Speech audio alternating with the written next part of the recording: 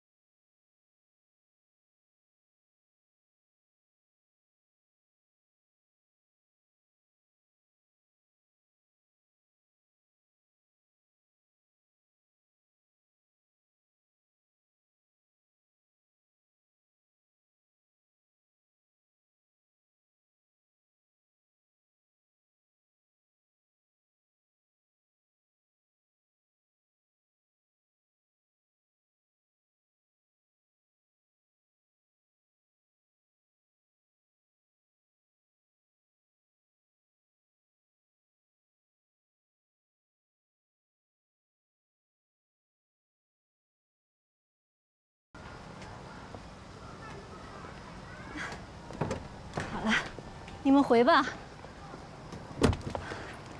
回去吧，不用送了。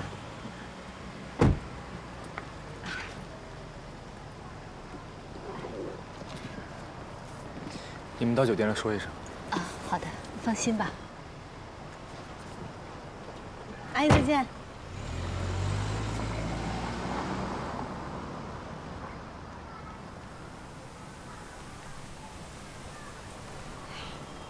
你妈和你妹妹是想来帮你过生日嘛？开心点，证明他们关心你啊。没不开心。啊，你好严肃的。下一个。走吧。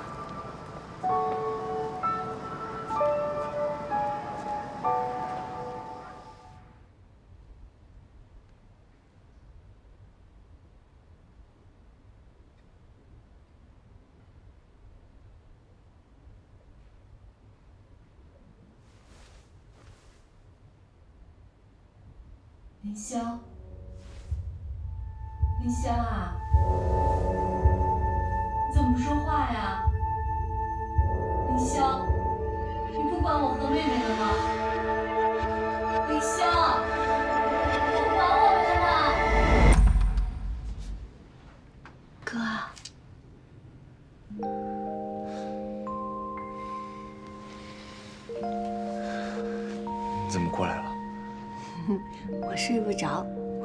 跟你一起睡？不行。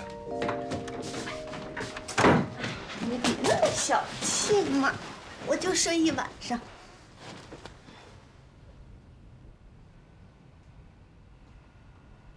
好了，睡觉，睡觉，睡觉，睡觉。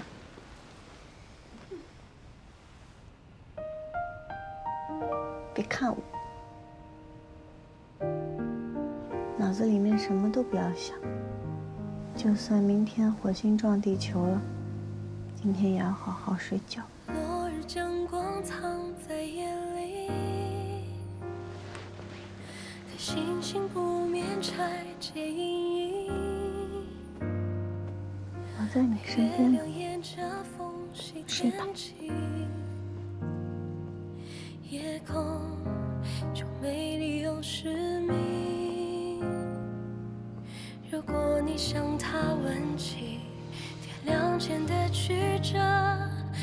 不过是去往明天一场经过。所以沉默也不必说太多，只有去承受。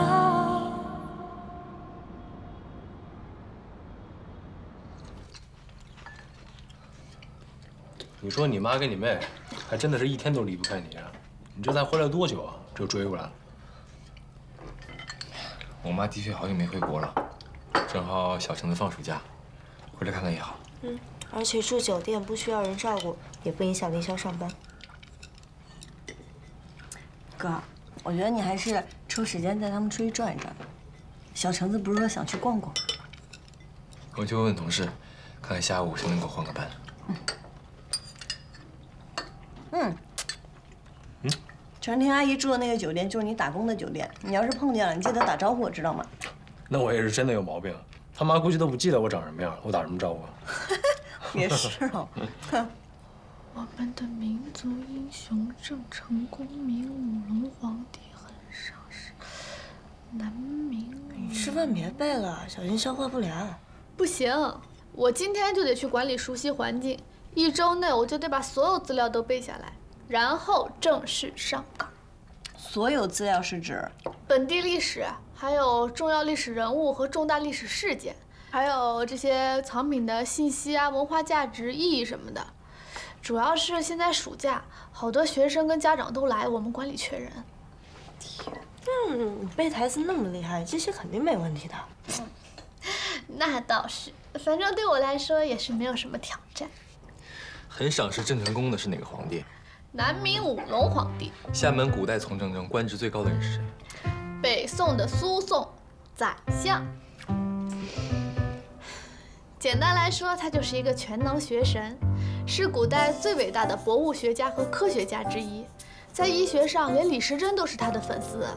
他编写的《本草图经》被李时珍在《本草纲目》中引用高达七十四处，而且在天文上，他制造了水运仪象台，是世界上最早的天文钟，比欧洲早六百年。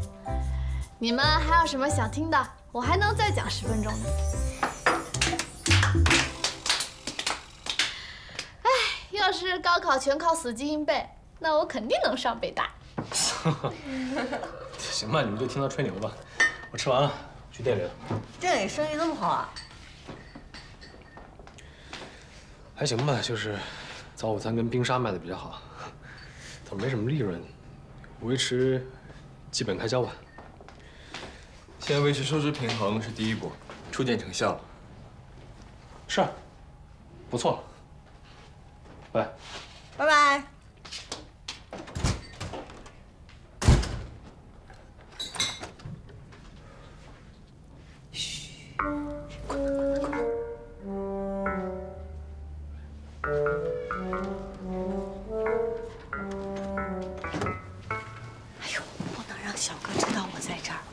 我是趁他洗澡的时候偷跑过来的。那你快去洗澡，洗完澡回来睡觉。你这是画什么呢？我想做一个濒危动物系列，像藏羚羊啊、大熊猫啊、江豚啊。你看，这江豚多可爱！这样啊，我还以为你画的小动物开会呢。开会？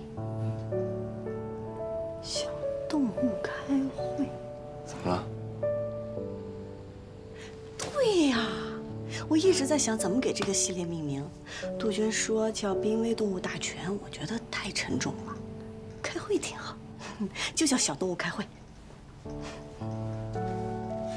我去洗澡了，你回去睡觉吧。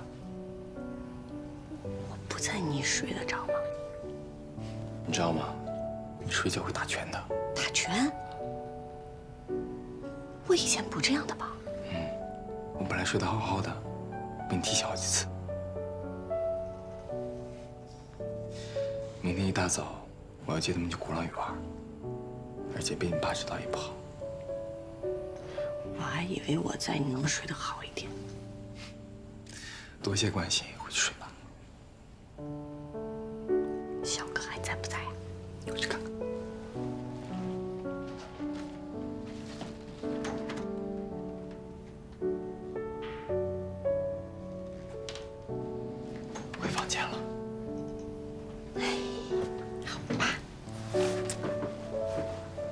睡不着就给我发微信哦，